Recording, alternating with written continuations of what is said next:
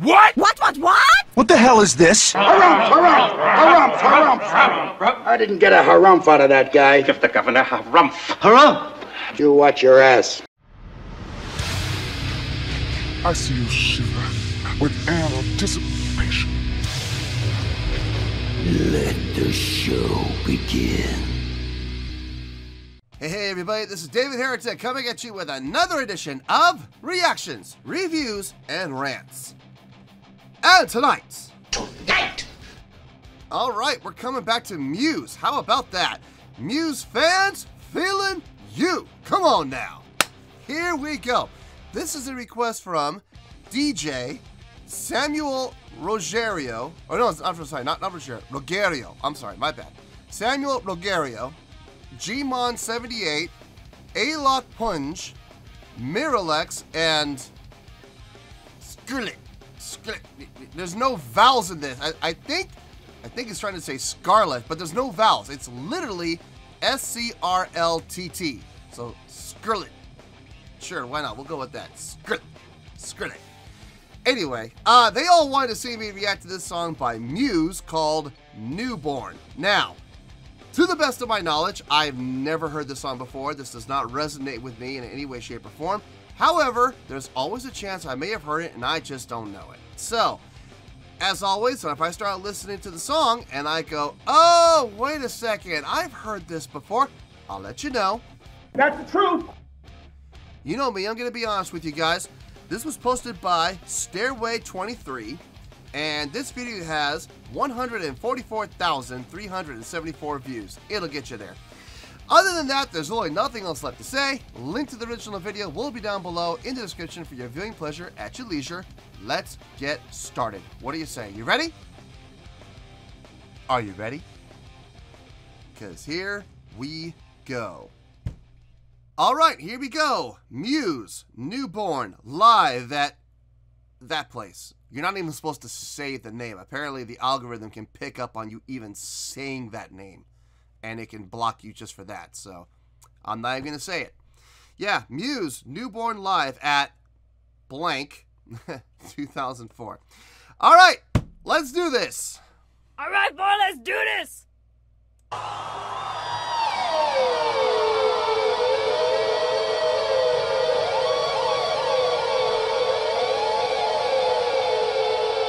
No problem with it as long as there's a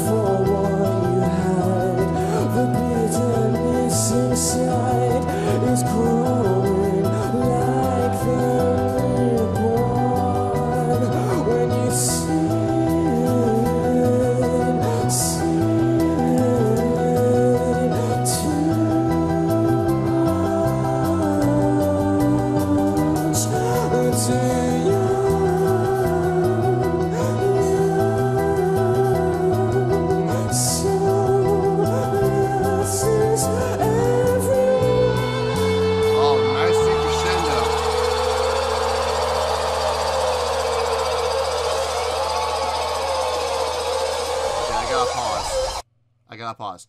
Okay, um, yeah, it's been a minute and a half. I better pause. Okay, um, a lot of stuff happening there. Okay, so it started off with all the all the pinch marks, the the squeals and stuff. Started off with that. Don't know if there was really a reason for it, but it did lead into the song, so I guess I guess that's okay. Um, the piano and the bass riff working together there, uh, not playing the same thing, but working together with with, with their lines coinciding with each other and uh, complementing each other really well, actually. Especially with the lack of drumming. I mean, there was hi hat going, but there was no kick. So it's really going to be up to the bass player at that point to keep the pulse of the song going. Um, that's really going to be his job at that point. I mean, it's usually his job anyway, but I mean, he's got it by himself, though. Usually the, the bass and the kick drum work together to keep the pulse of the song going, to keep the tempo going. Um, without the kick, it's up to the bass. Uh, sounded really good. I like the tone the bass player is getting on this. Actually, really, it's got a full, deep tone, but it's got just enough punch in it to uh, make you feel the accents, which is really nice. What was really cool is right before I paused it, it it was going along a nice clip, and then it just suddenly decrescendoed. And it wasn't subtle either. It was a it wasn't sudden. It was a very rapid decrescendo, a very quick decrescendo, uh, which was really cool. And it leads into that feeling of oh, something big's coming, something's gonna happen, and it's it gives you that feeling of anticipation, which is really nice, really really cool. So I'm curious to see where this goes now that they hit that decrescendo. Let's see where this goes.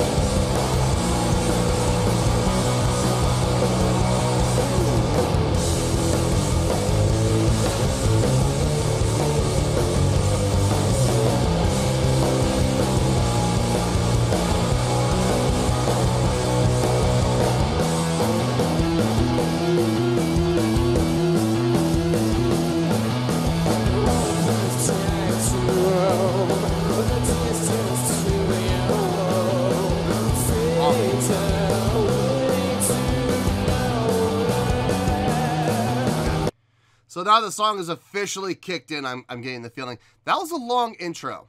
It was long, but here's the thing, and I, I've said this before. I don't mind long intros as long as there is a purpose behind them and as long as they move along and they and they push forward. That was a great example right there of what I'm talking about. That intro never lost my attention, even though it was like a minute long. It never lost my attention. It kept me engaged. It kept moving. Um, it had a great pulse. It set up the song perfectly, and then when the song actually kicked in, um, it just seamlessly went into it, which was really nice. So I have no issues at all with a long intro when it's able to do that. And this video, this song clearly demonstrated that. So nice job. Really nice job of the intro. Let's back it up about 10 seconds and let's keep going.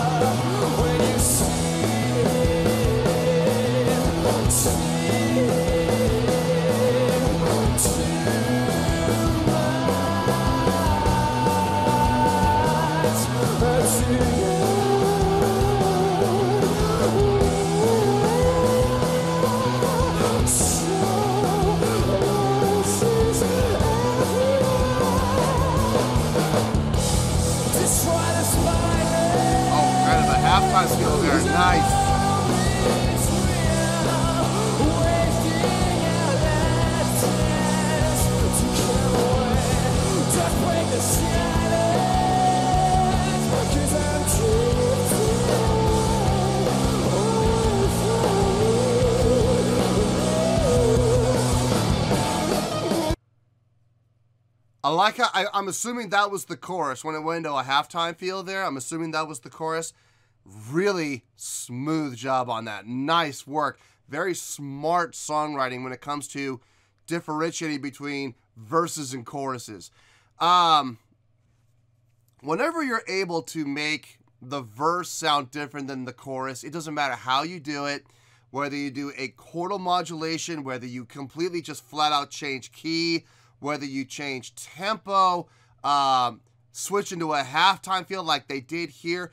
It's always pleasing to the ear because it's a definite change and it, makes it for the lack of a better word it makes it idiot proof so anybody listening can tell there's a difference. This is different. This is a new section of the song. This is a new area of the song that we haven't been to yet and it makes it easy for the listener to differentiate between verse and chorus so smart smart songwriting Really good job. I mean, Muse has always been really good about writing smart songs. I mean, there has not been one song Muse has written, I've, I've heard from Muse yet that I cannot say was smart song that was not smart songwriting. Every song they've I've heard so far from them, songwriting has been very intelligent. so they got that going for them, which is really good. Um, I always appreciate smart songwriting, and they don't overdo it. That's the and that's the other half of it. I mean, you could be as intelligent as you want with your songwriting, but if you overdo it and you overcomplicate it, you start to lose the crowd. And this is one of the reasons why I became disenchanted with prog rock. I was really big into prog rock. And then I started listening to it and I was like, what if we just want to rock out? You know, you can't. You can't just rock out to a prog rock song because a lot of songs and a lot of bands, in particular, I'll, I'll, mention one in particular, Liquid Tension Experiment, LTE. They are way out there. Like they get so far out there that it becomes almost unlistenable. Like it's so complex, and it kind of ruins it.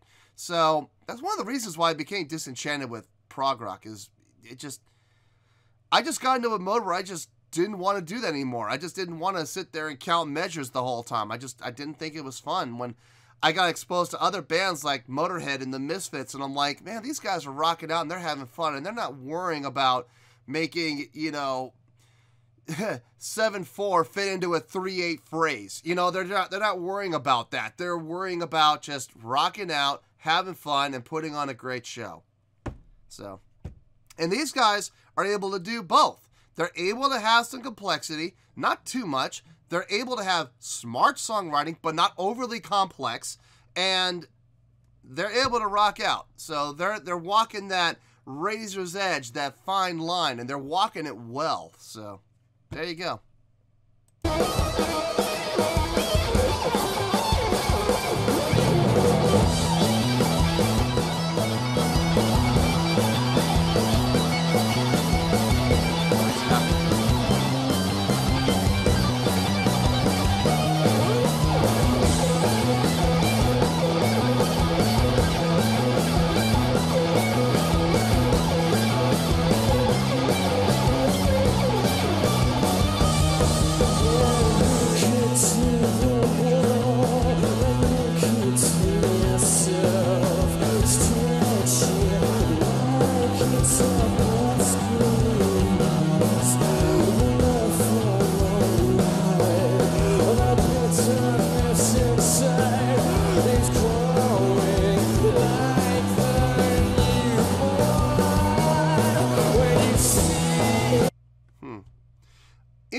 That guitar solo. Um, so from what I can gather, he's got a knob down here by the bridge of his uh, of his guitar. It, it's a pitch shifter. It's like a it's like a whammy pedal, uh, but it's with a knob. So he turns the knob, you know, and the pitch of the guitar goes up, which is cool. I've never seen that before on a guitar.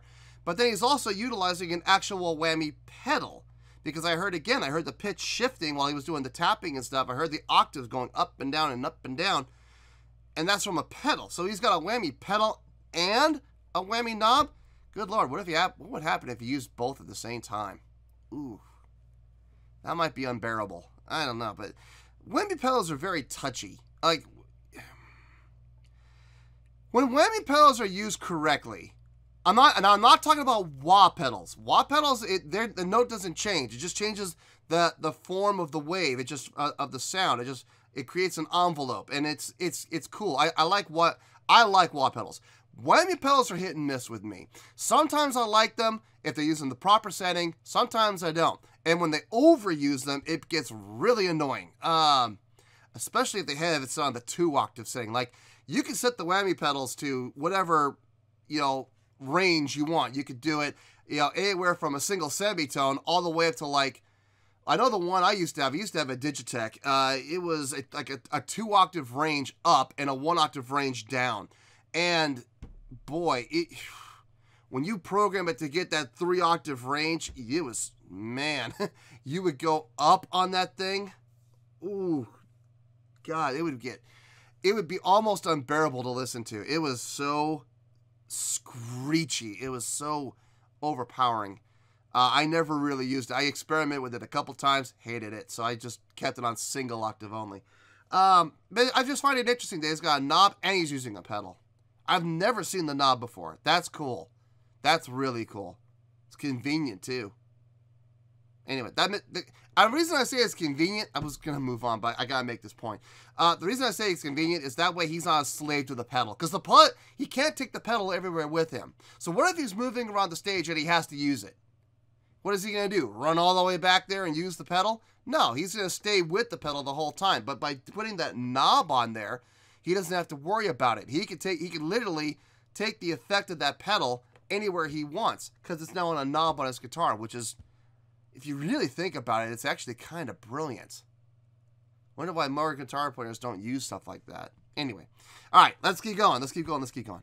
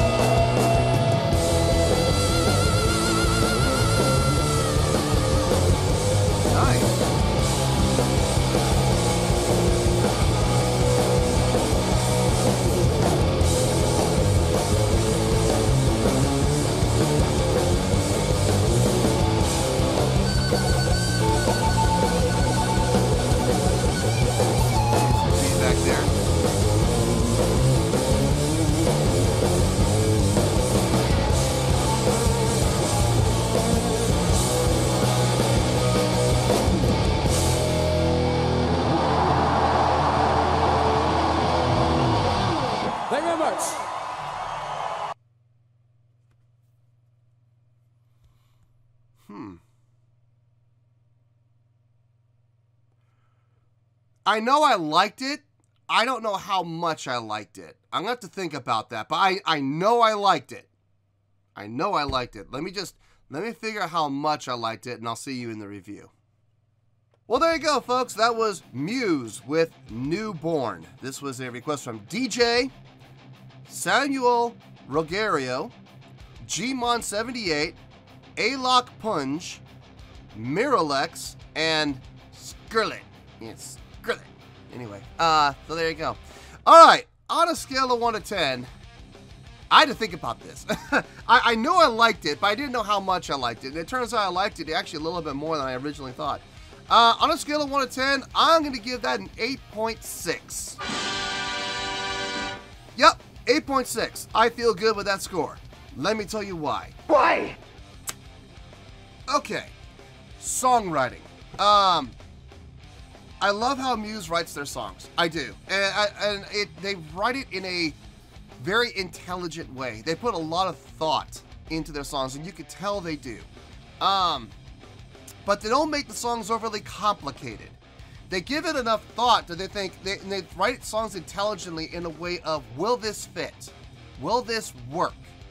Is this going to be too far out there? Is this going to be too complicated? And I haven't found a song yet from them where I've said, I can't listen to this because it's too complicated. Uh, I haven't found one yet, and I hope I never do. Um, no, this song is it's intelligently written. Uh, there was a lot of thought that went into it. You could tell because there was a lot of transitions, uh, in especially in feel and tempo that were that were designed to uh, show where new parts would start. Like, here's the new part of the song. So, like, well, let's take a look at the intro for starters, okay? So you had this free-form, um, no sense of tempo whatsoever, just, you know, guitars, you know, squealing and, you know, getting the pinch harmonics and stuff like that. And that's cool. There was that. Then the piano came in, and the bass came in with the piano. Bass player set the tempo, and they were off and running on this part. Then they had that rapid decrescendo, and it came down, down, down, down into the song. And then the song started officially. It's stuff like that that I'm talking about. Very intelligent, great execution. Um, the transitions from verses to choruses. I believe, I believe it was the chorus that was the halftime feel. Very smart. Loved that. Um, really loved that halftime feel actually. Um, so when I'm talking about songwriting, having thought being put into it without overcomplicating, this is what I'm talking about. As far as the song itself goes, like I, I already talked about the bass player having a great tone on the bass, sounded really good. I love the pattern he was playing, simple pattern. 134, 134, 134, you know, 1134, 1134, 1134, 1134. And then he had, you know, changes. And he would do inversions on the changes. You know, when he would when he was going down, he was staying up to simulate uh, the inversion of, I believe it's the, which would be the third, and then up to the inverted fifth. Okay, so it was an inverted fifth. Um, but really cool nonetheless. Uh, again, going back to smart songwriting without it being too complicated. I mean, the pattern was simple. It was just the, it was the same, uh, as far as the rudiment goes, it was just the same eighth note, one and two and three and four and one and two and three and four and simple, really easy, um, but effective, very effective. Drumming was really nice. Had some great tight fills in there. I didn't really get a chance to talk about the drumming at all. Shame on me because the drummer was solid on this, like really solid. Um, even with the fills he was doing. And what I loved about it is when he did make the transitions from the straight time to the halftime, you talk about seamless. I almost didn't catch it. Like the first time he did it, I almost, like about two measures went by before it hit me. This is halftime all of a sudden. I mean, that it was that smooth. So kudos to him. Uh, the guitar playing. I had mixed feelings about the guitar playing. Um, it was good. It had it had good feels. It had a good tone. It had everything about it was good. The the the whammy. Um.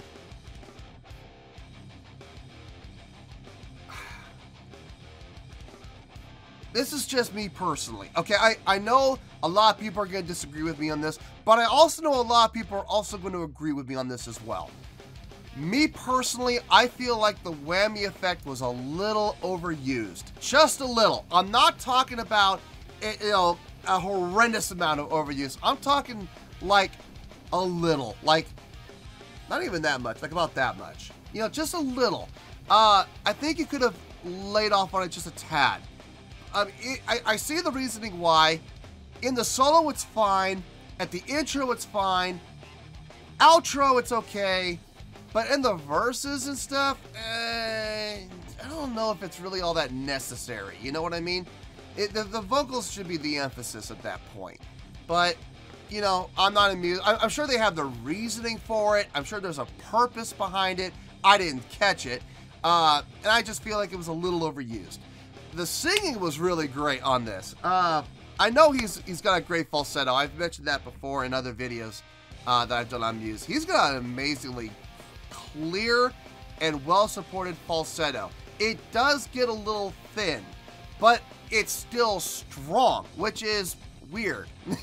uh, it, it, it's hard to imagine a falsetto that's strong, but yet it has that thinness to it.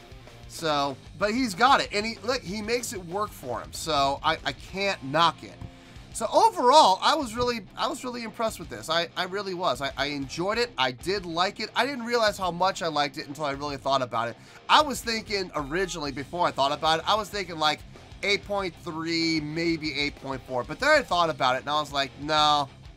No, I, I thought about all the things I liked. I was like, no, this needs to be higher than that. So that's why I settled on the 8.6, which is a great score. So, 8.6, final score, I have spoken. Well, that's going to do it for this edition of Reactions, Reviews, and Rants. Hope you all enjoyed the show. Hopefully, I was able to entertain you. If I was able to put a smile on your face and brighten your day, then I did my job, and I'm so glad I could do it. If you did enjoy the show and you would like to see more videos like this, feel free to join the fan base by clicking on that button down there. Yeah, you know the button I'm talking about. Click on that button, join the fan base, and become one of us. Now, for whatever reason, if you don't feel like clicking on that button, that's okay. I still respect you. Also, if you did enjoy the video, please feel free to give the video a thumbs up. It'll do me a world of good and it will do you absolutely no harm whatsoever. Finally, if you guys do join the fan base, you will find a bell down there that you can click on. By clicking on that bell, it'll keep you up to date on everything happening with this channel, including when new content gets dropped. So, if you want to stay in the know, click on the bell and you'll stay in the know. Well, that's going to do it for the night, folks. Until next time, this is David Heretic signing off, reminding you to stay fabulous and support each other. Later. Peace.